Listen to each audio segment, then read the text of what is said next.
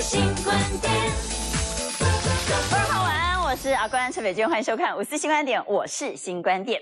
听说猫在钢琴上昏倒了，大家都看过这个非常有名的广告，但这个传言是来自于本来的传说是，听说有一个建筑物正在倒塌，传传传传传到最后，竟然变成猫在钢琴上昏倒了。刚开始呢，建筑物里头既没有猫，也没有钢琴，但传到最后，竟然又有了猫，又有了钢琴。三亿男事件是这样的翻版吗？还是真的就如柯比所说的，真的柯建明就这样告诉我啊，并不是柯建明所说的那样。到底谁说谎？在今天引起了非常热烈的讨论。当然，三亿男谜团到现在仍然是金价是不飒飒，搞不清楚三亿到底捐到哪里去。捐到世博吗？那么账在哪里呢？捐给了连胜文吗？账又在哪里？再见我们持续的为您抽丝剥茧。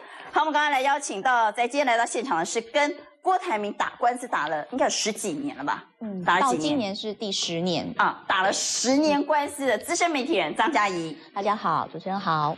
好，Now News 总编辑康仁俊，阿光大家好，新新闻副社长陈东豪阿，光大家好，好，以及台北市议员王世坚、阿光你好，大家好。郭成亮，大家好，好，以及台北市议员童仲彦。阿光好，大家好。好在今天是柯批第一次上议会被询，但是所有的焦点都在到底三亿男怎么回事呢？市长，您在法庭上说，柯建明说人家是支持连，他出了三亿，现在不想换人。请问市长，当初柯建明跟您讲的原文是这样吗？上下文是这样吗？还是说你是简化的说法？我跟你讲哦，柯建明哦，讲话哦都没有人听得懂，你知道？我我都我都不敢跟他透过电话联络啊。你只所以是在要画一个，面对面的时候讲的。对啊，一般一般一恭维哦，就算你跟他面对面哦，都听不清听不清楚他在讲什么的。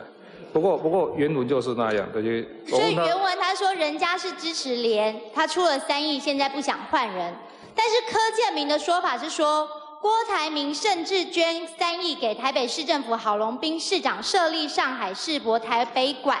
所以柯建明说他有跟你这样讲。现在就是问题是柯建明到底有没有告诉市长说这三亿元是捐给上海世博台北馆？有没有说？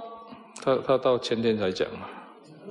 到前天才讲，所以当初在面对面时，柯建明亲自只跟你讲说，人家支持连出了三亿，完全没有讲是捐给上海你不要。问要要问这么这么这么尖锐的题目 啊！这这这个不是我很。尖锐，这个是大家都很关心。柯姐，昨天那一场，呃，双科交火秀很精彩了啊、对啊，今天你发了很多篇文，说是柯建明说谎，嗯你为什么认为是柯建明说谎？因为那个我的好朋友吴子佳跟我说，柯洁没说谎。嗯，因为判断这个状况，你知道吗？今天吴子佳说他说谎，你就认为他因为？吴子佳跟他是长期好朋友，长期观察他，他叫我引述他的话。那我在整个过程里面，其实以我对于哈、柯建明这四次发言，也就是他接受你访问之前接受另外一家嘛，然后他私下的时候，十二月一号，他十二月一号跟我说这件事，但是我没有报道。一月十四号接受访问，然后二月又接受你的访问，昨天是在呃法院出庭是第四次，对不对？嗯他四天的版本都一样。那今天最新的一个发展，就最有意思的是，因为下午在市议会的时候，高嘉瑜就问他说：“你在出庭前一天是不是有跟柯建明见面？”那你知道吗？我其实，在昨天就听说，在前一天，柯建明有跟柯文哲见面，而柯建明还打电话给一个廉政委员会的一个名嘴，跟他说：“我跟柯文哲在出庭前一天见面，我们瞧好了。”那后来呢？那高嘉瑜就用了这个廉政委员会的话的委员叫徐清煌的话去问不是他打这个电话的目的是什么呢？他们见面呢，对，就是柯建明打电话告天下啊，去告诉天下人，所以柯建明也告诉天下人啊，在这件事情爆发之后，据说他在民进党的党团也都放放言说啊，这个是世博馆呐、怎样的这个三亿元啊。那我不愿意去说他们之间在干嘛，但是四月十三号柯文哲要出庭，四月十二号柯建明找柯文哲见面，然后柯文哲答复咨询的时候是说，后来我问了林鹤明怎么一回事，林鹤明也不是很清楚，但是林鹤明说，啊、柯市长说，在四月十二号，柯建明找他的时候，柯建明跟他说，叫他说是世博馆的三亿元捐款，而柯文哲说他是第一次在那一天，柯建明才跟他说到世博馆的三亿元的捐款。那显然，柯建明想要希望柯文哲在昨天出庭的时候，按照他的版本说是世博馆的三亿。四月十二号，柯文哲跟柯建明有见面，请你们这几个人来评论一下。我大胆的这个 估计是柯建明要找柯文哲两个人来串好，第二天出庭要讲什么啦？因为呢，徐庆煌说，柯建明跟他说，我已经跟柯文哲讲好了，各有各的说法，然后最后就可以解套啊。那结果呢，柯文哲今天议员质询他，他必须讲实话，他说。哎，我是得改十二号 才听说那个什么世博馆的问题呀、但是呢，我就照实话讲啊。那柯文哲的意思是讲，我以前讲的这个版本是我相信的版本呐、那你今天来十二号来跟我串讲这个世博馆，那我没听到啊，所以他第二天还是照他原来的版本讲他是啊他照他原来版本讲，那他也是真的很挺我啦，嘿。啊，科比，嗯啊，但不是这个意思，科比如果现在改口，他昨天就是做伪证了，他怎么改口？不是，对呀、我的意思就是说，我的意思就是说，我我跟你讲，我真的很冤枉。我今天因为比较轻松的这个频道跟节目嘛，这个他今天穿裙子那么短啊，我还真想穿短裙我还看我还想穿短裙出来。我的意思说，我真的很冤枉。其实嗯我一开始只是想说。那个史郭正亮那天早上在我的广播节目里面，跟我有什么关系跟啊？这个有什么关系啊？一月。十五号，你跟我一起在我的节目上，嗯然后我们看到《自由时报》说，嗯前一天呢，柯批接受呃呃另外一家节目访问嘛，这个保洁访问说。他有那个三亿的这个给嗯对对手要换人，嗯我们俩还在讨论是谁，嗯你还猜另外一个人的名字。嗯可是其实我那个时候有跟你讲是谁，对不对？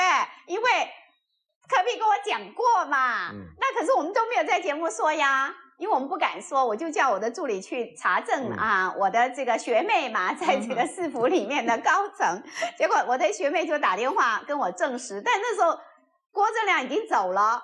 已经下节目了嘛，然后证实了之后，我才在那边很兴奋的说：“ 哦，查证到了，对，果然这是双重查证啊。”所以柯比说的呢，那个人就叫郭台铭，我没有其他的用意呀、所以我在每一条电子报说：“是不是你啊？”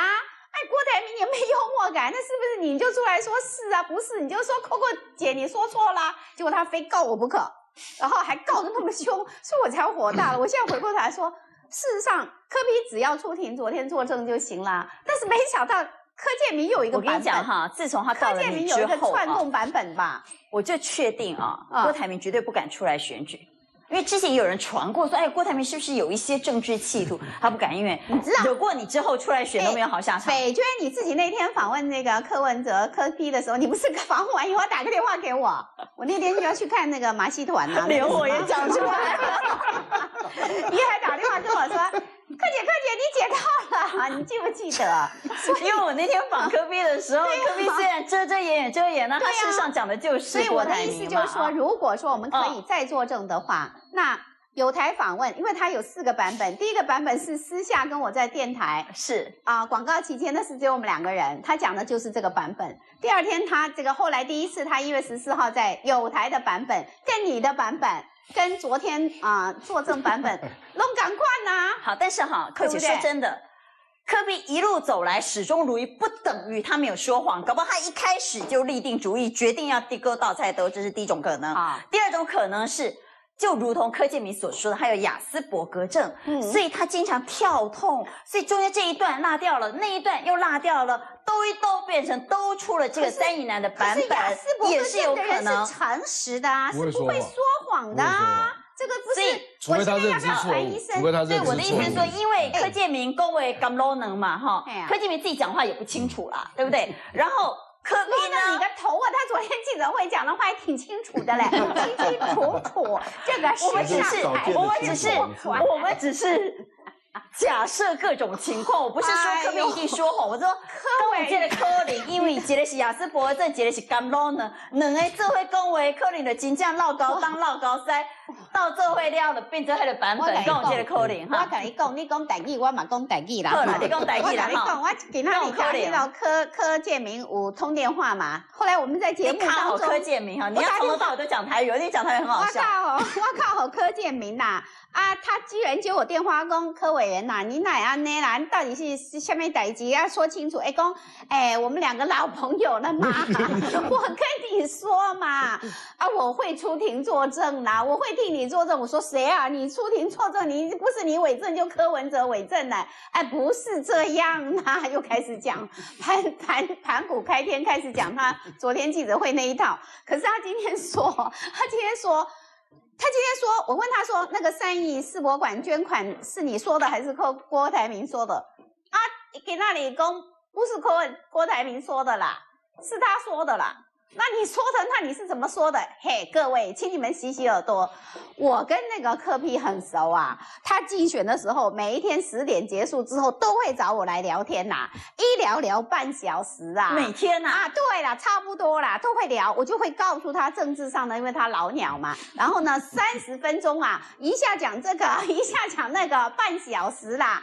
那有没有讲到三亿他其实呢在讲什么的国？语，你知道，他以为他讲台湾国语就是台语，台湾国语，台湾国语才是可以啦哈你。你嘛没要讲哪一讲哈啊，哦，我是老朋友啦啦，怎样怎样，啊，讲半天。阿 姨嘛唔知伊讲啥啦，那我说你到底有没有讲说要捐给他的对手啦？这个要换人的，他又又在门扯，哎呀，我就跟你说嘛，有那个上海市什么世博馆啊等等，他就跟你呼半天，结束了之后，后来关键这个主持人就问他，那到底你有没有说人家是因为捐了现在的对手？因为不合理的地方是世博馆是二零零八跟二零一零年的事嘛，那你怎么会二零一四年提到了呢？哦，这个要命致命的问题，阿科委员就给他挂电话了，哎，就 就挂掉是你为什么会在二零一四年 去提那个六年前的，往事？那我有一个很嗯很聪明的律师啦。今天这个很聪明的律师是我的好朋友红粉知己律师，嘿，哎哈，那个我是他红粉知己的律师。我今天问他，他说他觉得柯建铭的讲话真的很不合理，法官应该也听得出来。那我说，那他如果来跟我出庭的话，那不是我倒霉吗？我现在问题是出所以你现在就要求测谎，你就要求测谎，两个人都柯测谎建明来，嘛。那他们说你就重建对话，然后有不同的地方再说嘛。那没想到最新发展就是柯批说有啦，我前一天有跟柯建明见面，柯建明跟我讲世博馆，我是第一次听到，你知道我意思吗？懂？他说他啊四月十二号第一次听到，所以他四月十三号出庭作证，还是讲前面版本。那林鹤明说，我们市长是不会说谎，只讲诚实话。然后呢，制作单位在那个时候，另一个节目制作单位要打电话问柯柯建明，柯建明说，柯文哲很早就知道，所以到现在为止还是罗生门呐、哈，我只关心我要不要赔钱呐、应该不会吧？你不会赔钱，因为你已经善尽查证之义务我查证。但是我们要讲清楚但是，但是我告诉你啊、善尽查证张之义务不等于怡说，张嘉怡说郭文郭台铭的律师很厉害的，他搞不好就会在那边叽歪说哦我告诉你你有过失啊，也因为东西的，所以 也因为郭台铭的律就跟丢哎啦，好，哈也我们还进广告，还是要也因为哭啦 郭台铭的律师很厉害。我们今天要讲郭台铭，简直吓死了，你知道吗？这个录影之前呢，不断的打电话到他们公司的公关，说我们今天要讲郭台铭，请你们回应一下，请你们给我一个说法。哎呦，今天要给人给人狗呢！而且现在持续在打电话给柯建明啊，我对们等会电话接通了之后，我们来听听柯建明那柯个委员你好觉得吗？还没有啊，不能回答的问题啊，到底他准备怎么回答？为什么会在二零一四年去提六年前的事情，用这件事情来拒绝柯批呢？很不合理哈。不过刚刚其实寇姐谈到了一个重点，郭台铭没什么幽默感，他干嘛动不动就告人呢？他真的是上穷碧落下黄泉呐、从海内外，从台湾告到大陆，从大陆告到美国，从美国告到英国啊。呃，应该是说，我觉得郭台铭的这个心态，基本上是科技的老板他们的做法，通常最有名的就是两个人嘛，一个郭台铭，另外一个曹新成。他们的做法基本上就是认为记者，你如果写东西，好，你不跟我查证，你写东西的话，我就用告的方式，让你呢尽量的去闭嘴。好，那这个最有名的。叫他来接受访问，他也不理你啊。好，那我们先讲他最有名的一个案例嘛，哈，二零零四年的时候，他告公那时候《工商时报》的这个记者邝文琪。那我们看一下邝文琪写的那篇文章，那篇文章讲什么呢？他就在讲说，哎，Intel 出了一个新的这个 CPU，然后那这个主机板呢，这个主机板业者呢，配合这个新的 CPU，他们要用一个新的连接器。那这个新的连接器呢，红海报价一颗七块钱美金，哎，七块钱，好，它很贵。那所以红海可以赚到钱，前面可以赚一点钱，后面的话，大家会不会继续用这个东西？不知道奥斯给一。下好不好哈？因为我觉得柯建不会再接你的电话了，所以你用我的电话打打看，好不好？好好，太好了，你来来用我的电话呀哈。。呃，我们俩电话是一样的吧。继续讲邝文琪，因为我在想说他不会接邝文琪的电话，因为他今天才被他摆了一道嘛，对不对哈？所以用我的电话打来，邝文琪哈。好，邝文琪现在是我的同事，好不好？哦，那邝文琪二零零四年那时候他在《工商时报》，他写的那篇文章，他只是写一个主机板业者讲的一个市场的一个消息，结果就被告。他被告，那他是创了，我觉得是中国新闻史上的第一例，就是呃，红海不止告他，而且是直接假扣押他的财产，而且申请就是三千万，然后那三千万，然后扣押他的财产，然后而且是怎么样？不止扣押他财产，完了以后是直接扣他薪水，所以他的薪水就直接被扣到红海就假扣押去了。是好，那发生这件事情之后呢，大概黄永琪呃请假了三个月，然后他那时候去美国，大概短期进修，然后让这件事情沉淀一下。后来这件事情被记者协会知道以后，在二零零四年的大概十一月开始，记者协会开始升高这件事情，他们认为这个是不合理的。那邝永琪本身也认为这个不合理，为什么？因为你如果今天记者的任何一个报道，你有怀疑，你公司你要为了要封杀他，不让他再写，你就直接扣押他财产。各位，他是一个上市公司的老板，他今天用的钱是谁钱？是所有投资大众的钱。嗯他拿投资大众的钱来钳制媒体的言论，那这件事情记者协会认为是不合理的。那我想作为记者，大家都认为这个不合理。那二零零四年，于是记者协会升高说发动万人联署，然后我们要去国际记者协会告你，然后而且我们要告诉大家说，红海是用这样的方式在钳制言论。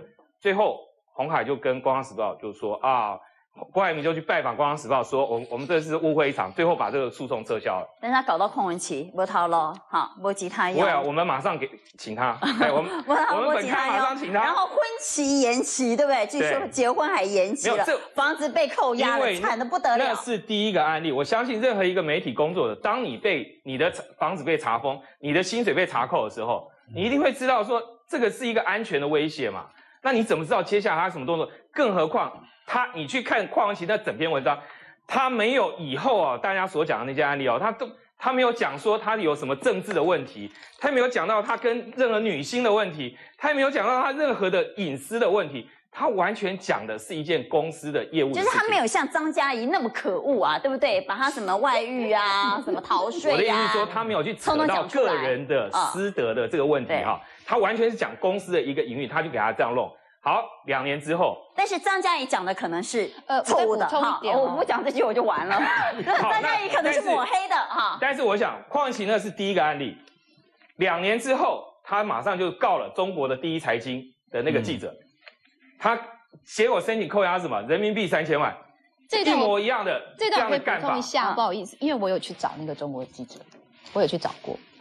跟他求偿三千万人民币啊！对对，你的手机也没响。哈而且我跟你哦讲，在这个案子里面哈，第一财经的这个案子里面非常有趣的一件事，郭台铭在告下去之后呢，而且他是怎么做，你知道吗？他先去找他们的高层去跟，就是公司高层去跟那个记者讲说，哎呀，你们不要这样写嘛，我们就去解释一下，然后大，然后记者以为没事了，你知道吗？是。隔天收到法院扣押令，你知道吗？他他已经告你了，他还去跟你哈拉，哈拉完很可能是收证，然后他就告你，告完了以后，你知道，中国媒体第一次发现说，哇塞，台湾人，我写你血汗工厂，你赚很多钱，嗯。结果你就来告我，而且那个同一个时间是英国的报纸也在写，所以他们就把中国媒体就把英国媒体全部拉起来，然后大家一起对着郭台铭弄。最后两个月之后，郭台铭也撤告，他本来要求说赔偿一块钱，对呀、最后他还是撤告，为什么？因为大他一发现这整件事情升高之后，他觉得他受不了那个反作用力。好，那我觉得这件事情已经从这两件案例，你已经证明一件事，就是你告媒体，用告媒体这样的方法，绝对最后是不治的。好，但是告媒体这件事，人家他有告赢哦，比如说张嘉怡，对不对？恐吓案你坐牢了，从司法的角度来看，张嘉怡是有罪的。哈，他告了《时报周刊》，说刘嘉玲很削郭台铭一亿，这件事他也告了吧？说刘嘉玲怎么样灌他美酒啦，美酒灌霸王。哦，美酒灌霸王后我跟。你讲，《嗯时报周刊》那个那个文章也写得很妙。《时报》文章，我觉得《时报周刊》是有点想要写，就是写八卦嘛，好，就是说啊，郭台铭啊酒量不好，还跟人家喝酒，结果被这个刘嘉玲海削了一亿现金，结果最后搞了半天说爆料，那来源是什么？是一个爆料者。那这个爆料者呢，在文章上写起来还是说说，我觉得郭台铭最近的形象被媒体诬陷的不得了。其实郭台铭根本不会喝酒，他酒量不好，所以他是被这些女星害的，你知道吗？他他那个文章的整个写法就好像说郭台铭被人家干洗了，你知道吗？那写完了之后，郭台铭当然很生气啊。嗯第一个，居然说他酒量不好，对不对？然后还不胜酒力，哎，还被女星干洗，还直接拿给现金一亿。最后证明一件事情，就说，哎，实话说，后来就说这个文章没查证，有了，他有查证了啊。对他没有查证是是什么，就是它里面所有写的这些现现象。第一个问题就是说，现金一亿，哎，现金一亿多少钱啊？多大啊？你怎么直直接拿给他现金一亿？这牵扯到洗钱防治法这等等这些问题嘛，对不对？所以 他有查证我，不好意思爆一下料。据说他说我的消息来源是王世坚，然后王世坚就说不是，我是听张伟基说的，对不对？所以他有查证，消息来源《时报周刊》查证的人在这里哈。好，最后张伟金的那个爆料的内容，结果最后后来没有办法成为一个所以后来《时报周刊》也道歉了，也败诉了哈。所以当然他告媒体有输有赢啊，但告媒体造成整个媒体圈噤若寒蝉，这是一个普遍的效应。大概刚刚被戏，就像我们今天讲郭台铭，真的吓死了我不啊！怕啦，因为我是那个呃小钢铁做的小蚂蚁，小蚂蚁会被踩死，那刚做的小蚂蚁不会被踩死。但是我们刚刚讲的后坐力来人俊哈，因为告了上海第一财经这件事，哇不得了啦！那个整个中国大陆的媒体的反扑力量，真的让郭台铭吃不完兜着走。这个当然是有一个连锁的效应啦，因为嗯比如说像台湾的记者哈，其实要入行还蛮容易，你不一定要这个相关相关科技，现在你很多都可以进来。可是大陆有点不太一样，因为你要进记者这一行，要么你就是师生关系，阿某的学长学弟，阿某的学长学妹、学弟学妹下面比较，所以他们基本上是一个体系的。结果我想刚刚阿忠哥讲的很清楚嘛，你这样子，因为人家只写说你深圳那个时候假说你的这个劳工有超时工作的问题，你就是要告。哎，三千万人民币折合台币是一亿多，你知道一亿两千一亿多的这样子，一亿两千万呢、一亿多等一下，等一下，这样任俊哥，我来补充一句，那篇文章里面有一件经典的句话，他讲说哈，红海的员工干的比驴累，吃的比猪差，起的比鸡吵，下班比小姐晚，装的比孙子乖，看上去比谁都好，五年后比谁都老。你知道，听说是这句话哎我让郭董等一下，等一下，等一下，来，你可不可以再念一次？我觉得很经典呢、这个来，我们不要开框来，我们朱继忠，你再讲一次。好，据说哈，就是有一句嗯顺口溜，好他这整个文章写说，红海的这个富士康的员工干的比驴累，干得比吃得比猪差，起的比鸡早，下班比小姐还要晚，小酒店小姐晚，哈，装的比孙子乖，看上去比谁都好，五年后比谁都老。你知道那整篇文章在讲什么？他在讲说有十三个。哦这样子告他，有十三个这个年轻的员工，好、罹患这个白血症，好、其中五个死亡，然后而且呢就开始调查，因为这是国外媒体写的，嗯，然后那个时候因为 iPad 刚刚是不是英国《开始在卖，每日邮报》写每日的啊？英国《每日邮报》写的，对，然后那时候 iPad 刚开始大卖，全球风行。然后那个时候，他英国人就质疑说，中国的员工只拿两趴的获利，只有就整个苹果大赚走大部分，红海赚十趴，然后那个员工被两趴，然后员工又得了血癌，所以这个血汗工厂就在第一财经的这篇文章被写出来。哦写出来之后，从此大家就把红海扣上血汗工厂这样的一个帽子。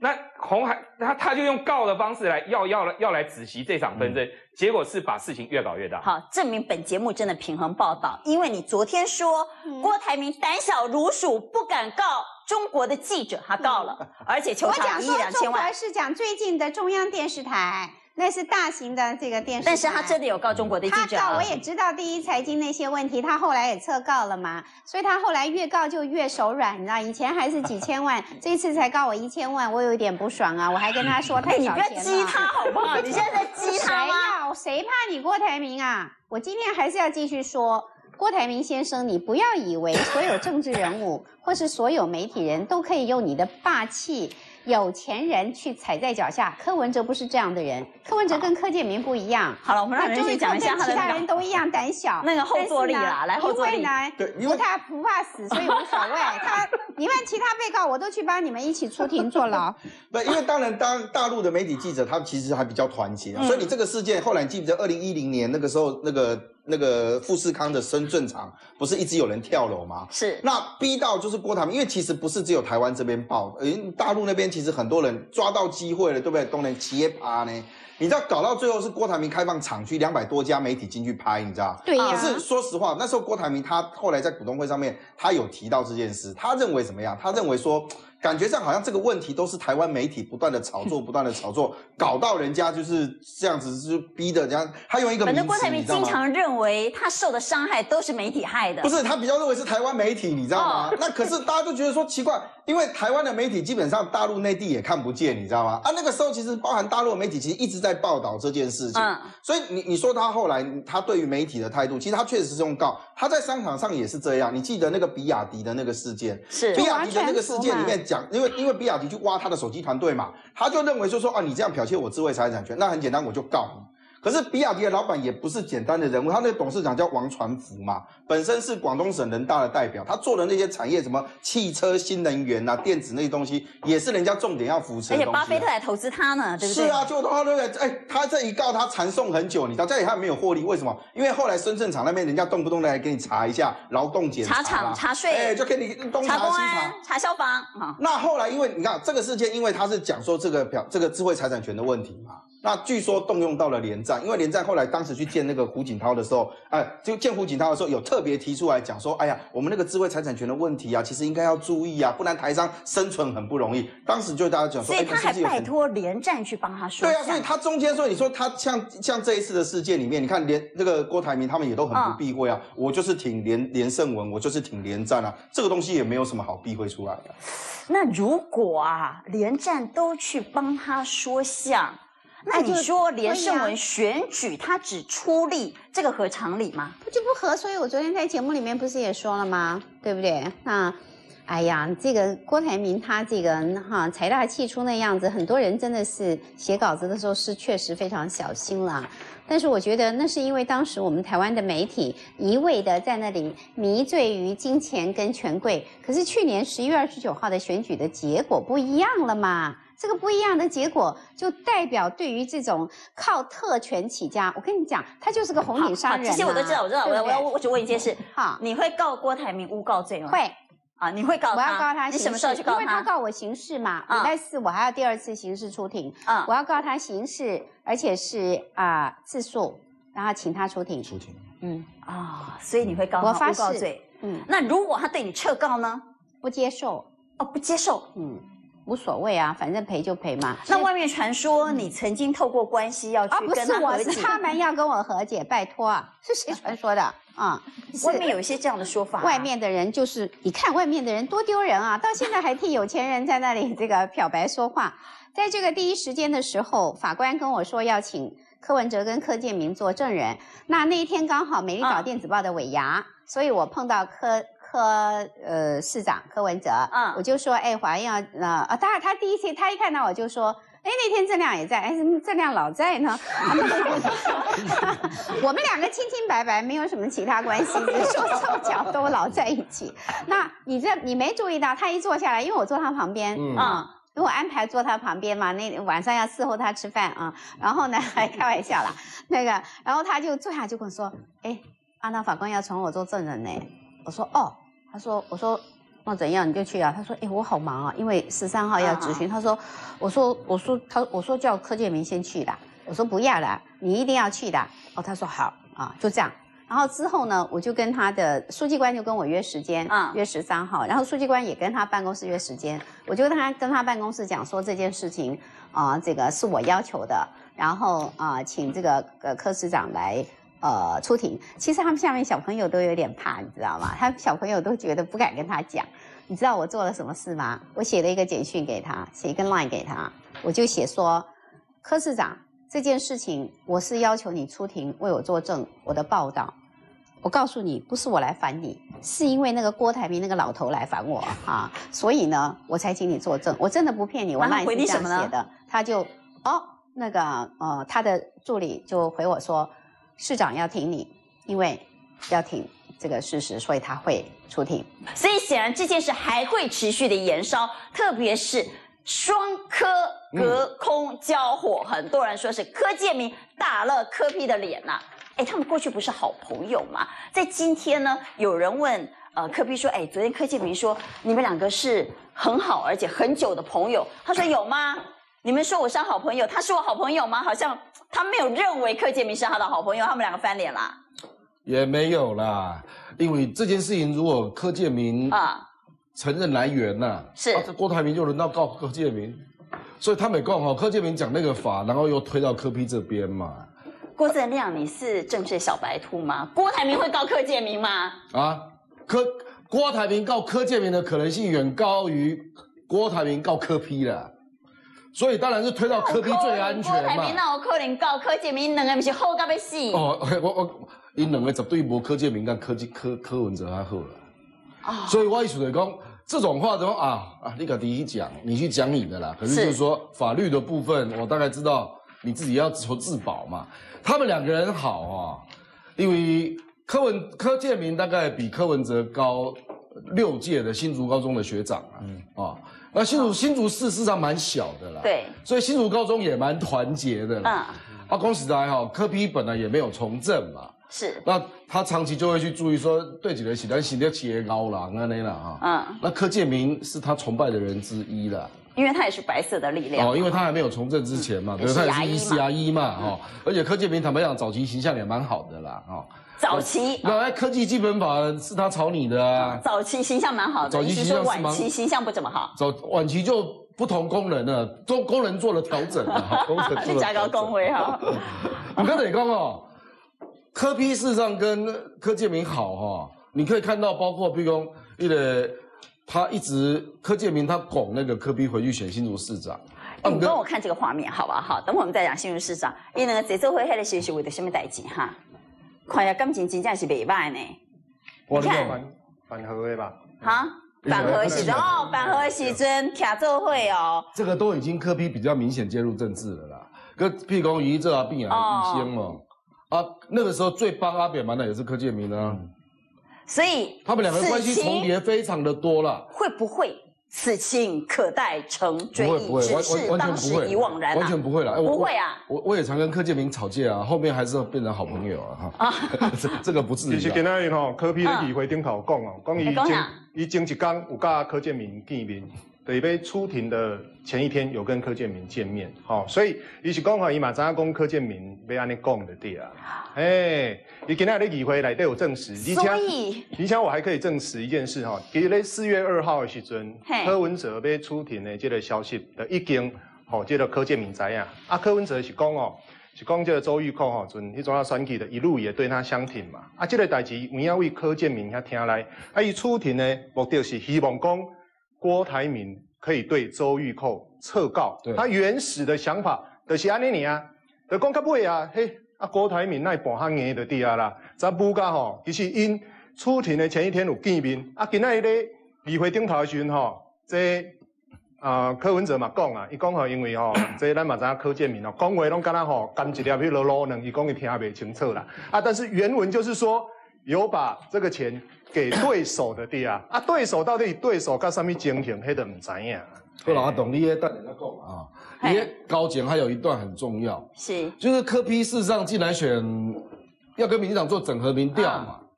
坦白讲，那个时候卡的最厉害就是新潮流嘛。嗯，啊，那个时候党主席是苏贞昌，苏贞昌个人的态度很重要。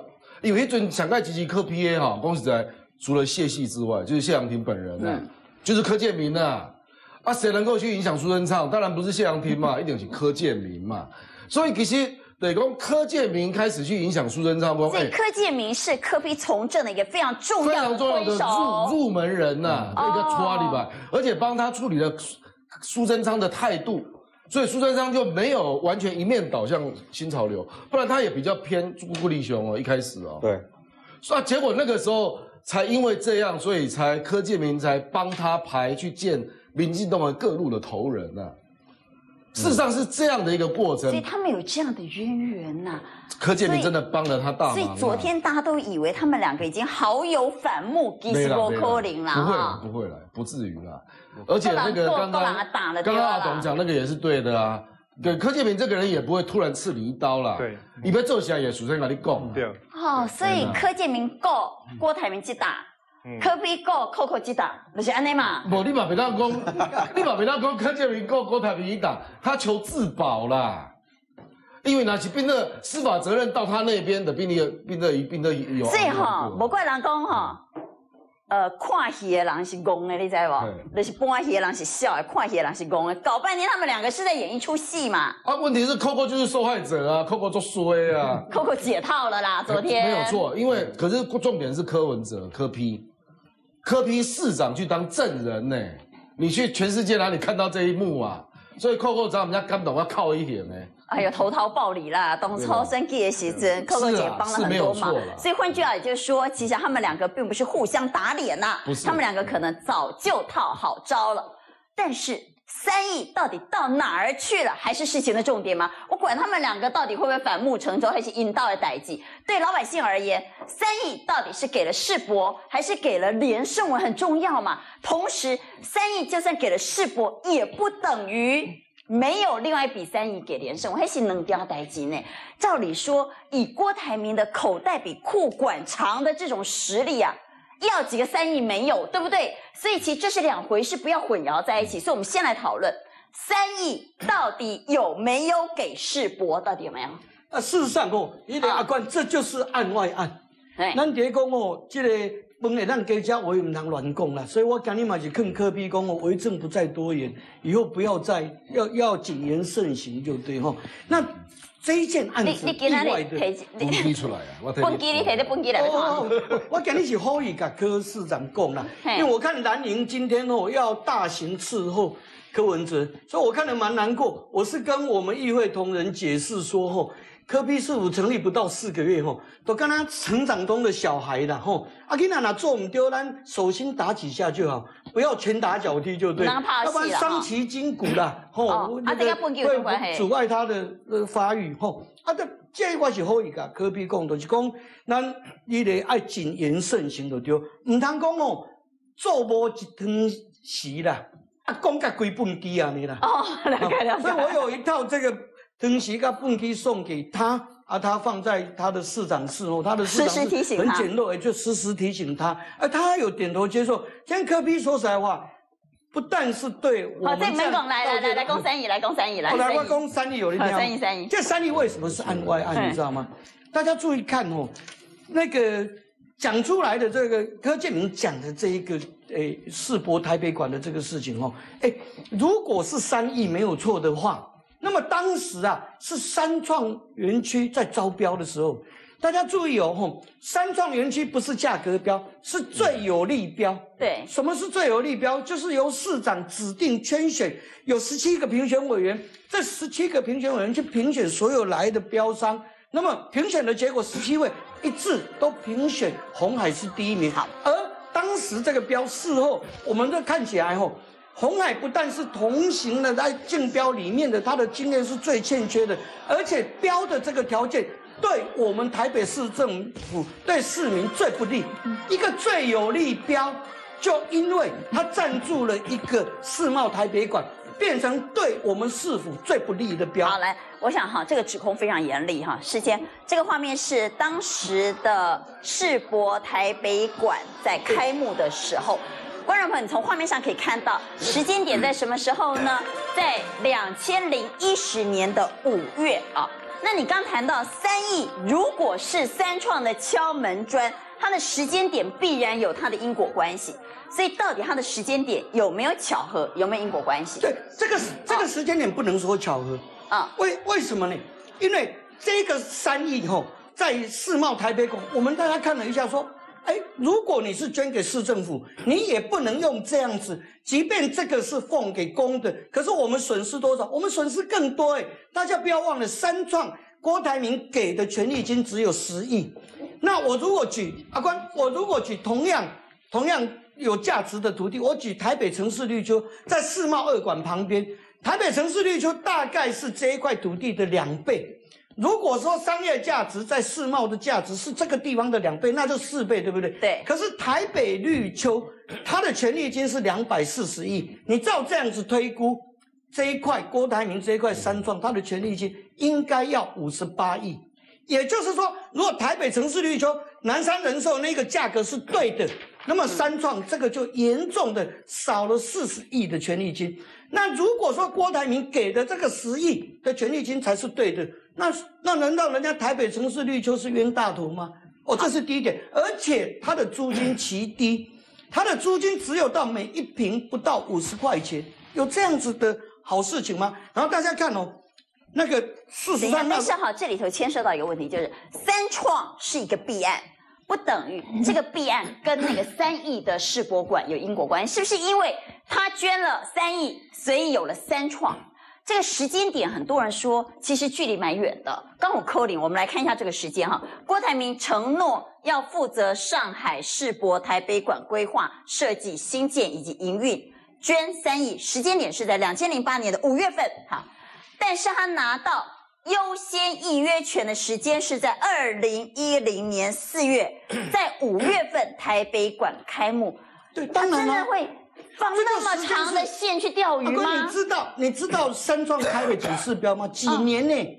三创这个案子从两千零八年就开始了，然后二零一零年那个刚好就跟市那个台北馆世博台北馆就是重叠啊，而且这三亿元哦，我我现在我举出两点疑点，就是第一点哦，到底是不是花了三亿元给我们台北市政府？其实当时红海有正式。红海的教育基金会，我正式跟台北市政府签了一个约，这个约里面吼，这一章是第一章，那里面大概有八章的内容，我把它仔细看过，这里面就是界定甲方，呃，我们市政府跟乙方红海权利义务这一些规划，可是通通没有提到新建费，呃，金额里面包括多少展品，那这一个馆是花多少钱，一个字都没提到。然后我今天郝龙斌还发了一个声明，郝龙斌今天说，这个针对柯批、柯建明、世博这个馆，他发了一个声明说，台北市政府他说我们确实接受了红海捐赠的这个馆，他没有提到三亿，但是他说台北市政府，他说我们真的接受人家捐赠，为什么？他说因为我们市政府这个市世博台北馆，我们没花半毛钱。他说：“我们没有编列任何预算，在这里面连续强调了两句，但是我今天就把预算找出来，在六年前啊，民国九十八年编列的民国九十九年的预算，六年前他就编了参与上海世博这个活六千万，就六千万的的预算要来执行上海世博。那我现在请问呢，如果说？”红海真的捐了这个三亿，为什么在合约里面，在这一份合约里面没有明细？你到底做了哪些东西？这个场馆是多少平？那多少展品？你为什么这些费用通通不写？所以是不是还有台面下的交易？好来，呃。仲彦说：“你查过了，对不对？所有的收支账款里头就是没有这个账。其实，在这整个嗯，我们看民国九十九年的决算里面啊，完全找不到这一笔金额。从九十七年到九十九年呢，整个接受这个民间捐赠的金额平均是两亿哦，所以完全找不到这一笔。但是刚才在说的这个三创有没有对价关系哈？大家要记得，这三创这个案子哈，从两千零八年啊。”一直在进行，这里有一个是九十八年，所以它是两千零八年就开始进行案子。对，这这里有一个九十八年五月的东西，九十八年五月哦，这个是郝龙斌那个时候请这个相关的顾问公司哈，先做一个先期的计划。那这边就讲到了九十七年的公土地公告限值就已经有十三亿喽。那为什么到到后来是用十亿呢？那郝龙斌他是怎样？他是白痴吗？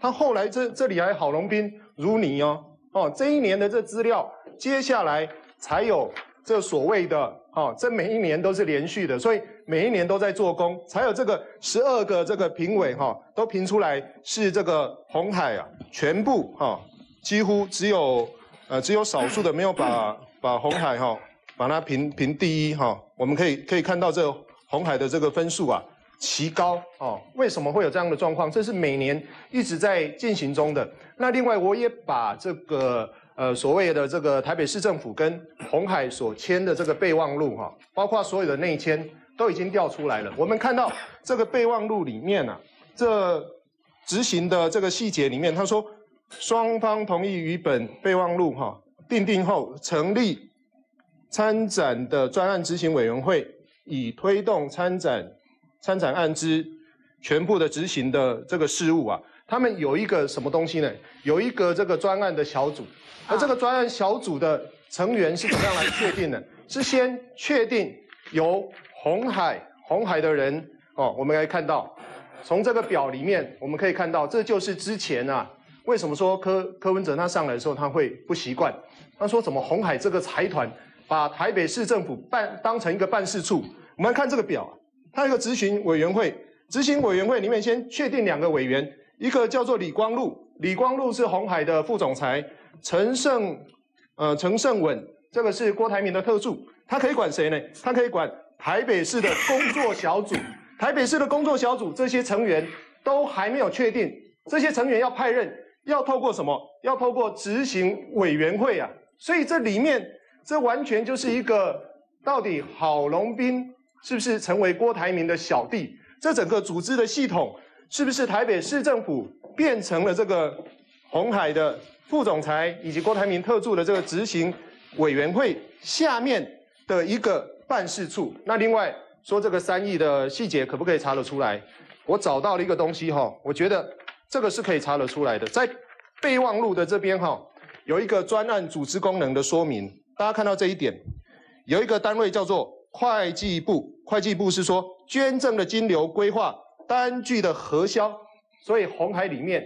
依照这个整个组织的组成，它应该要有这些资料。所以现在啊，这整个三亿男的发展，接下来是郭台铭你要出来，把这个金流拿出来，把这个单据拿出来，就可以找到三亿跑到哪里去了。好，但是非常怪了哈，他今天捐赠给台北市政府，我还要跟郭台铭拿单据啊，不是台北市政府也应该要有一本账吗？今天不管他是捐钱、捐桌子、捐椅子，我跟你讲了，那是关一个杯啊。问公司哈，姐的杯啊弄来店，对不对？我离职的时候来，阿关你的杯子在哪里？电脑、桌子、椅子，那都是公司的资财啊。所以如果郭台铭真的是，不管是捐钱也好，还是捐一个馆，他总有资财吧？应该是列在资产账册，我们要清点一下嘛。他到底捐了什么啊？捐了桌子、椅子吗？为什么通通没有呢？如果他是用基金会的名义捐，那基金会的资本额只有三千万，如何能够捐三亿的场馆？我想这都是郭台铭要说清楚、讲明白的。不过嘉怡，你因为跟郭台铭是官司交手了十年哈，你对他非常了解。是没错。当时你为什么会跟他打官司呢？其实最主要是因为我答应财讯，我要写一本书哦。后来我有出了，好在这里。好，在这里哦，这本书我有出。是，那这本书呢，主要是我为了写这本书，我还查了蛮多资料，还特别跑到美国的法院去查了很多资料。那我发现其中最惊人的就是红海在美国啊，欺骗大众啊，他欺骗国台湾的股民。我想北萱姐应该很清楚哦，台湾的财报哦，一定要登载就是在国外的重大诉讼，对不对？好，那你如果公司的持股超过百分之五十的子公司，在海外的重大诉讼，是不是也要登载在年报上？当然，当然。好，那你看到了这么多。好，一页一页翻。好，从红海上市到现在，大概有四五十条，我去查了各个法院啊，加州、德州各个法院里面，红海都被告。而且呢，各位可以看到，哈，但是我想啊，这里头有一个比较模糊的概念，是什么叫重大诉讼？因为重大还是不重大，有的时候是很主观的。对。嗯，但是如果是他的副总变成诈欺案的被告，算不算重大诉讼？他的副总变成诈欺案的被告啊，这个案件，卢松青变成了诈欺案的被告，啊，然后还包含呢，他在美国被美国的性别平等委员会，好，还有种族被告了种族歧视，啊，也被告了这个歧视同性恋，那我光讲一个同性恋的案子好，因为这个案子我还真的有去找到这个承办的律师啊。是这个律师呢就跟我讲说，其实这个案情就很简单，就是员工是同性恋嘛。那因为不堪红海的这个酒厂文化，所以就提出他没有提出辞呈，他只是宣布就是说他要在家里跟他的同事领养一个小孩，好，然后就被公司解雇了。嘿，那这个官司呢，在加州的 Orange County 打，打到最后呢，红海都要赔他一千多万美，哎，一千多万台币。那你想哦，光是一个这个被员工告的案子，他就要赔一千多万美金，一千多万台币。那他的赔偿应该会在他的财报上显现吗哦？没有啊，对不起，你确定你查过他的财报没有非常清楚，一条都没有。那我当时就是想说，我既然要出书嘛，嗯那我是不是把这些东西都整理起来，全部写出来？那写出来啊、我就准备要写出来。那后来这件事情，当然财讯我也把大纲给了财讯，给了出版社，是然后也给了郭台铭。好，那郭台铭的第一个反应就是，他就找了一个中间人，就以前红海的公关来找我。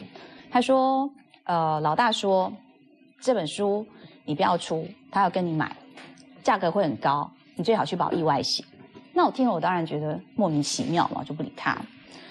大概过了一个礼拜，他还真的写了一个所谓的呃和解协议书说帖过来，这个说帖非常精彩。呃，我现在讲的话哦，应该不会害你们被告，因为这个法院的呈堂证供里面都有哦。啊他怎么写呢？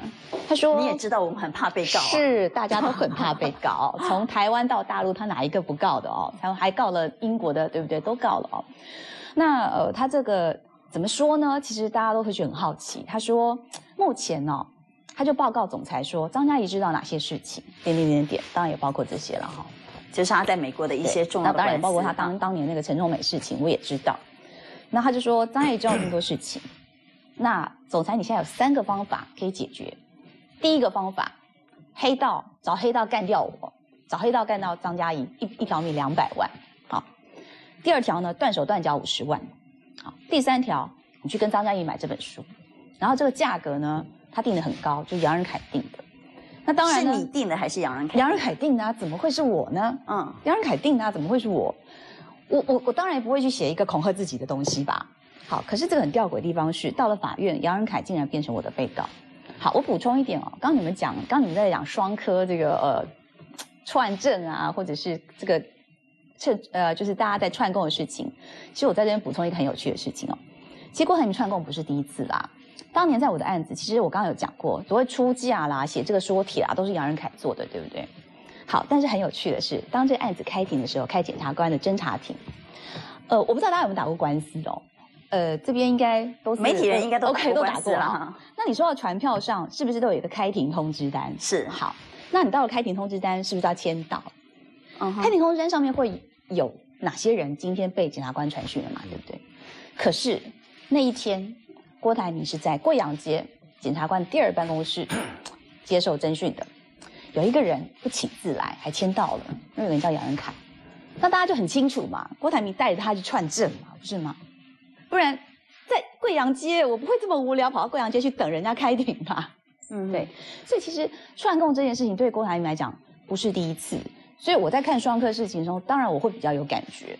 好，但是你确实因为恐吓罪而锒铛入狱，你去恐吓了郭台铭。他认为这是恐吓嘛？实际上，我觉得我才是被恐吓的，因为断手断脚取人性命，A、B、C 给你三条路，你要选哪一个？你当然选 C 嘛。等到呢，我还找了律师哦，去领了合约。我到了银行去签合约，我签完合约，所以你初步是同意的，是不是？同意把书卖给他。呃不然你要选哪一条路？A、B、C 好，三条路。所以你呃，在那三条路里头，你选了一条 C 啊 C 好，那我我说那我不写可以吧？嗯，然后说那 anyway 你还是要去签约，因为他签所以是外传的一百万，代价是外传的一百万美也不是我？定的啊，嗯那个是杨仁凯定的啊。而且最吊吊诡的地方是，我在这边要很郑重的澄清一件事情，就是说，在这个讨价还价的过程中，实际上我本人我是有打电话给这个中间中间人的，但是这通电话长达十分钟，岳阳电话被刑事警察局侦九队删掉了。我有被监听，啊哈我去调了通联，我有通联记录，可是没有译文，没有监听光碟，为什么？因为这通十分钟的电话是我打电话去给中间人说，我可不可以不要跟你们签约啊？你们这样等于是恐吓我嘛？整整十分钟不见了。好，所以也就是说，照你的说法是他恐吓你，但最后是你恐吓他而入罪，甚至于坐了八个月牢。对，没错。好，所以到底是谁恐吓谁？其实这也是个罗生门，我们搞不清楚啦。但是郭台铭告媒体那倒是真的，在我们圈内那是有名的。呃，郭台铭告媒体这件事，我们等会再来谈，因为 Coco 姐为了这件事情，昨天还痛哭失声啊。不过任俊。这个三亿有没有给世博馆，跟三亿有没有给连胜文，其实那是两件事。对啊，不因为三亿给了世博馆，就等于没有给连胜文钱嘛？这你刚看到两个民进党议员的态度，包含像呃这个郭正亮委员，柯呃这个郭台铭这个人，其实在民进党内是一个很膈养的一个事情在，你知道吗？包含二零二厂的东西，包含像三创，民进党其实是一直在追着。这个这个郭台铭打，而且一直认为说他跟着国民党里面，就是因为有很多的特权嘛，有很多的行为。结果今天这件事情跳出来帮郭台铭这个解套的，居然是柯建明。那你所以对民很多民进党人来讲，因为刚刚讲奇怪呢。啊，东吹起二零一二年的时候，很多人都会认为说蔡英文其实是有机会登上总统宝座。吴子嘉今天就写嘛，他就说。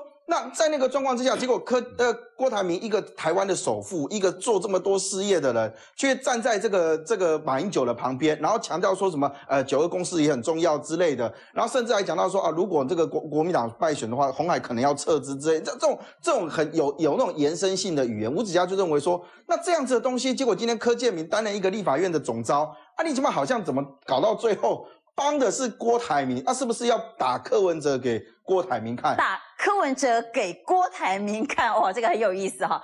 真的柯建明是打柯文哲给郭台铭看吗？我不知道啊。但是我们回到刚刚三亿，到底有没有可能给了连胜，或者不是三亿啦，是三千万，或者不是三千万了，是三百万。总之，到底我们拿钱给连胜文这件事情呢？因为连胜文一直没有公布他的竞选经费，嗯。但是呢，我们从很多的蛛丝马迹，我们就用膝盖想一想，哎，郭台铭不只是。挺连胜文还在大雨中冒着雨穿着雨衣为他搏命演出，那你认为郭台铭会不会多少懂那一点呢？吴子嘉在今天的演这个文章里面，他写了一个还蛮有趣的啦。他说在那样你刚刚讲的滂沱大雨嘛，那郭台铭站在旁边这样子奋力拉票，你像画面上面所看到有没有？郭台铭在旁边亦步亦趋这样子，然后也是跟在这个连胜文的旁边，然后包含选举的时候站台上，他用了一个他说他觉得郭台铭不像是就是比较像是什么连胜文身边。的小弟跟着这样子，他用这样的一个言论啊，那当然，其实三亿的这件事情，你说如果在选举来看，当然是一件大事。为什么？他已经不是你有没有申报的问题了，他其实有没有违反你的那个政治现金的问题。因为那个三亿实在是太庞大。那大家也比较关心，就是说连胜文他们阵营的里面的反应。结果你会看到他的发言人钱振宇昨天在这个呃上另外一个节目的时候。一直追问他，他只是在讲说哦，我们已经跟监察院申报，那等到那个时候我们再来讨论。他也不愿意去证实到底是有或没有，所以这个部分就会让大家就引起很多联想，就说哎，你已经出力到这样的程度，郭台铭啊，吴子嘉就质疑他说啊，你出力到这种程度，那你说你没有出钱吗？你前面都能够赞助这个这个国民党政府这样子这么多的这么多地方的建设，你都愿意说啊拿三亿出来做世博馆？因为其实世博台北馆那件事情三亿，其实也是郭台铭自己说出来，他在记者会上面讲说别。人评估要六亿嘛，那我大概三亿就可以做了。好，所以啊，郭台铭这么努力的声嘶力竭力挺连胜文，会只出力不出钱吗？我想这件事情有违常理了啊。但是柯建明为什么？如果真的如柯建明所说的，就是世博嘛，世博台北馆他捐三亿，此三亿非彼三亿。为什么第一时间不说呢？很多人说，哎，等一洗干你也当供啊，想到不爱公清策。其实啊，你不要讲说柯建明，柯批第一时间不想再再讲这件事情，记不记？我们把道带回去。其实这个三亿那个事情出来之后，扣扣姐写了之后，柯批第一个事情说卖个萌啊，卖个萌了，不要再问了。扣扣姐，你不要害我了。对，我们还记得啊。但是那么讲啊，柯批跟老柯，老柯年底如果真的在新竹选立委的话，柯批去站台的时候一点都不用意外，这两个人不会感情不好。但那但是有个关键哈。柯批比较不会说谎，所以你知道前一天那个见面，柯批该讲什么讲什么，啊事情要怎么把它圆起来，这就是老柯的本事。我说老柯哈是很厉害的一个人啊。那么讲哦，你不晓得那个阿乖，你记不记得以前罗大有一条歌，那个告别的年代，啊，白色的啊，蓝色的，无色那个无色的你啊，那个老老柯哈就是这样，他照道理民进党我们应该讲是绿色，对不对？老柯的身上就是蓝色的、白色的啦、红色的啦、橘色的啦、棕色，棕色是台联哈，那还有黑色的啦，各种颜色它身上都有，它就好像那个彩虹一样，你知道吗？红橙黄绿蓝靛紫，嘿，上面写上五，他他的 他的人脉哈是如此的宽宽广，所以哦，老柯最会什么样的事情？像遇到这种事情，别人很难处理的时候啊，老柯就有本事。收收嘞，收收嘞，收到嘞，大家都没。所以是不是因为老柯的个性比较八面玲珑，他谁都不想得罪，所以第一时间他不肯讲。这个已经不是八面玲珑可以形容，我跟你讲，这叫智慧，这是政治智慧。这是三十二面玲珑啊！那可不，光是有像有的人叫玲珑哦，我说老柯这叫政治智慧。我举一个例子哦，让郑亮那个几位都在在，民进党的派系问题一直很严重。是，我们讲啊，所有人都知道派系没办法被消灭的啦。可是民进党呢，三不五时，每到一个时段哈。就会就会跑出来说要要解散派系，老柯就讲啊，派系又不是八大行行业，为什么要地下化？就说你消灭派系这件事情哈，事实上做不到，所以只是把台面上的事情变成地下化。可是老柯的语言很妙，他说，民进党的派系又不是八大行业，又不是亏就点见见不得人，为什么要地下化？好，啊，讲到这个就是老柯的语言，这是他的魅力，他用八大行业形容这个派系的问题。完全非常贴切，凸显到民进党的问题。可是呢，你在看老柯这个人的时候啊，为什么说他他真的是我说他有政治智慧啊？老柯当然有争议，可是老柯有民进党里面多数人没有的能力。我记得老柯以前，我们我们现在叫老柯是永远的总召，但以前不是哈。以前立法院总召是轮流的，老柯当然当的次数有多一点，可是他不是永远的总召。一直到阿扁当总统以后，老柯才是开始变成永远的总召。所以老柯永远是挺阿扁的，这个不用怀疑。好，他当然永远总召之后，刚才讲了新潮流不服气，小段他们都想要挑战老柯，可是这个时候有一个人出来替老柯讲一句话，而且让新潮的人哑口无言。那这个时候是奶公吴乃仁跳出来，他把所有新潮的的的立委叫到办公室，然后对着柯建明说：“你们哪一个可以像老柯，让国民党的立委啊，国民党的因为蓝营对抗很严重，让国民党的立立委。”能够能够弯，能够能够对我讲这样弯腰，然后能够能够达成协商，你们谁做得到，你就把他干掉。新潮的立委，十那时候那时候大概点点，没有人做得到，所以老柯不是说只是不是说你关系够，不是他腰很软，他还有想法。所以帮老柯党党内茶壶里风暴的是吴乃仁这个我要补充他一下，每个委员会在开啦，嗯，老柯他每一个委员会都会去看。嗯，都会去盯所有的议题，朝野协商从头到尾，每一个议题他都是从头做到尾的，这个也是一种本事，是，嗯，从头做到尾。所以你想想看哦，他白天在委员会可以这样跑，晚上他还可以网络应酬搞朋友，这不是几个人没有几个立委做得到的。要身体很好了哈。都那么讲哦，我我最后用一个例子去讲柯那个老柯这个人哦，老柯娶媳妇的时候哈，我们知道他是新竹开两场。在烟波，然后在国宾，都地方上的人啊。然后台北在君悦，那当然那个都是大官显要。但是为什么会请那么多呢？因为他朋友多啊。你现在看到这好画面上，我们所看到就是柯建明炒新波，哎，席开两百四十桌，就是可以想见他的政商人脉啊。新竹两场加台北这一场两百四哈。嗯。听说台北那一场是主席、董事长加总裁哈。好，比如说你像什么吴东亮这些，你想都想不到的人，他都到了哈。啊，那包括连世文都送花了，就是说他打破蓝绿，但是打破蓝绿不稀奇哦。为什么？你知道，我现在手上拿的是一张名片哦，就是张嘉颖的名片。老柯最厉害是什么？为什么可以请到那么多人？就是说每一张名片啊，他自己收的好好的，但是呢，只有老柯知道说这张名片跟老柯是什么关系。每一张名片呢，对他来讲都是一个故事。简单讲，你都去拜托过他。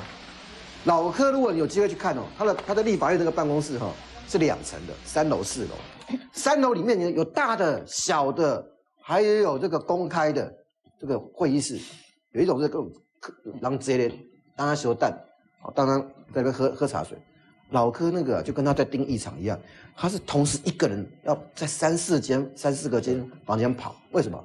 他在做他，所以他还要转台就对了。对，他在做他的服务啊。然后你像跟跟那个郭台铭，记不记得茉莉花那个那个太阳花学运的时候，忽然间有一天，他被陈根德跟卢嘉诚叼到郭台铭的红那个土城总部，两个两个老男人就在那个地方谈了谈了一个下午的关公。你说谁？老柯跟郭台铭啊。哦，老柯跟郭郭台铭，郭台铭就是透过透过透过卢那个嗯陈根德他们呢，就把老柯找来呀、所以郭台铭也在把他的影响力在往绿太阳花军这边的时候太阳花的时候要要收尾那个时候啊，就是这样子啊，这样在做啊。所以你说老柯会不会让让让郭台铭难难做人？不会嘛？那三爷要怎么办？当然就往世上海世博跑嘛。好，所以哈，老柯据说，哎，你曾经说过他找人头的手法骇人听闻呐、这个事实上是你用骇人听闻这我跟你讲哦，四个字这个是党内的竞争呐、嗯那个是二零一三年四月嘛，嗯那那个时候就开始听到，因为呢，我们那个入党是有上面有推荐人嘛，是外面一大堆卡通通都是柯建明呐，啊，几大堆啦。那我们算了，那个散在外面的卡超过一万张了，啊，超超过一万张。那是二零一四年六月，就五月了，要选党主席嘛。嗯，那坦白说，我也我也坦白，我是支持蔡英文的，那他是支持苏贞昌的啊。那可是他那个时候的那你为什么用骇人听闻四个字呢？他那个，因为他结合了各式各样的力量啊。是那因为我我本身也选过大同啊，嗯一些地方的角头我也认识嘛。那事实上后来也传出他在澳门也去见，就是罗福柱嘛。所以他是透过一些黑道以及角头的力量去找党员那。事实上，易德公啊，许正雄也他的他的助理是要选新北市嘛。你如果是入新北市的党员，那大家无话可说啊。他不是哎、他很多都是入小的党部，比如说入嗯花莲、入台东、入基隆，那就是一副要把那个整个地方吃掉了，那就可以垄断提名嘛。这个事实上新新闻最了解了，因为新新闻是 爆料基隆市那次入党的那个主要的源头啦。那因为新新闻爆料基隆市还没有变成大新闻，啊，我出来开记者会料总变大新闻。啊，事实上最熟的应该是东豪了，就基隆市好所以的部哈。老柯也有可能是因为他个性八面玲珑，也有可能是因为他跟郭台铭交好，也有可能因为他跟柯 P 已经商量好要演一出戏，在昨天开了一场非常罕见的记者会。很多人的说法是老柯不敢得罪郭台铭，就像我们刚开始想说，吴子嘉说老柯是怎么样，是打柯 P 给郭台铭看。那如果真的如此，他为什么不敢得罪郭台铭呢？我觉得郭台铭不敢得罪，是因为他在台湾的警界还有法界，他非常的有势力。你们看这一次他用的律师，刚刚严廷玉嘛，嗯严廷玉的爸爸是谁？严世喜，警政署长耶。啊，郭台铭的爸爸本来就是警界的高官，他是刑事警察局退休的，所以他对警界的关系非常好。包括我们现在刚卸任的王卓君，也是他的好朋友。为什么呢？因为王卓君的爸爸叫王鲁桥，王鲁桥以前呢就是郭台铭他爸爸的长官啊，所以他们两家是世代交好的关系。这个在警界就不错了哈。那在法界哦，我给大家看一个哦，这是我刚刚手上拿到。其实，在台湾，你跟郭台铭打官司真的很难打赢。据说他的律师团比他的法务人员是比那个大型的律师事务所的人还多啊！我举一个例子哦，嗯，这个案子，我现在手上的这个案子，好，这个案子呢很有趣，是一个呃红海的周边厂商去爆料的，然后他告群创里面的一个高官哦，就是倒卖，就是也不算倒卖，就是贱价卖出这些原料。那后来呢，北检很在三月二十号做成那个天劫吧，哦，嗯，这个案子很有趣的是，我要告诉大家的是，这个案子它可以指定检察官。你确定他指定检察官吗？呃，根据爆料人的知道他指定检察官呢因为？我有他的传票啊。嗯 传票呢，这个检察官叫做谢其梦哦。啊，这个检察官也是办，记不记得红海之前他有说他有他们公司不是有一个很有名的贪污案吗？你记不记得？是好，这个贪污案的这个就是内鬼嘛，员工对嗯内鬼，那那个内鬼，我还记得我当年还看过他抽到红海的股票三千多万吧哦。好，那这个内鬼呢，这个案件的主办人就是那个北检的检察官谢启梦，这个呢很有趣哦。这个检这个爆料人呢，他就到了红海的股东大会去找指名找黄秋莲，就他们的财务长啊。嗯黄黄秋莲说：“我现在知道你们公司有什么什么什么案子啊、那我要报。”然后黄秋莲说：“好，那你我帮你联络公司的法务。”然后公司的法务呢很有趣，带这个举报人去北检找这个检察官，所以全台湾大概只有红海郭台铭有这个能耐可以指定检察官办。那你认识这个举报人吗？我认识。所以当时这个群创这个案子，其实媒体好像没有透露过这个案子。Coco 姐有有提过啊，Coco 姐已经来了哈，Coco 姐有提过，Coco 姐有提过啊。这案子现在不不幸也也被我言中啊，应该就是千结了啦哦。那这个案子呢，就是我当当时这个 Coco 姐有提过，就是当时他不是说这个群创还在被人家告背信吗？是这个案子，好，就是这个案子，好现在千结了哦。所以郭台铭能够左右司法能耐。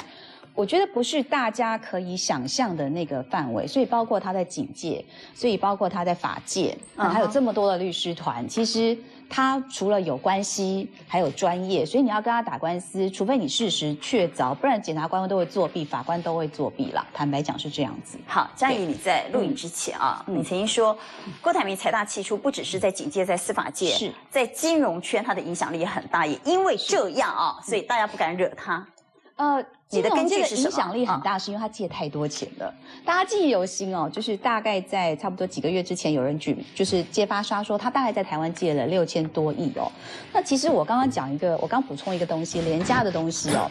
呃，连家当然是永丰金的股东嘛，大家都知道啊、哦。是。那我觉得很吊诡的是，他每一次郭台铭郭台铭做任何动作，其实都有目的的。啊，包括他在二零呃，他上一次选举他挺的国民党啊，在跑到澎湖去助选，记不记得？然后跟邱毅去助选，记不记得？那一次选完，他获得什么好处呢？奇美店获得展颜的连带获得展颜，一选完马上获得展颜，所以他是有目的的。那这次选完，我不知道大家有没有注意到，选完之后九合一国民党当然惨败，那当然他是挺连的哦。然后呢，三月马上选完，对不对？哎，奇美的六呃奇奇美现在改名叫群创，是群创的六百五十亿连带，哎又过关了，所以他每一次哦，他做任何动作都是要获得背后的利益。我相信大家一定要看这件事情。你认为郭台铭在政治上的力挺，不管他是支持哪一个候选人或站台，这些政治动作是为了让他的连带案能够过关啊？是，因为在台湾其实。再多不愁嘛，他借了六千多亿，你想如果他还不出来的话，台湾的银行有没有办法去承受这么大的金融风暴？我想是没有办法的。